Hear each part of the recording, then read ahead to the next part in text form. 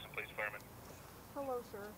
Um, your siren, um, I think it's on Zaffke Street, and I, it did not go off.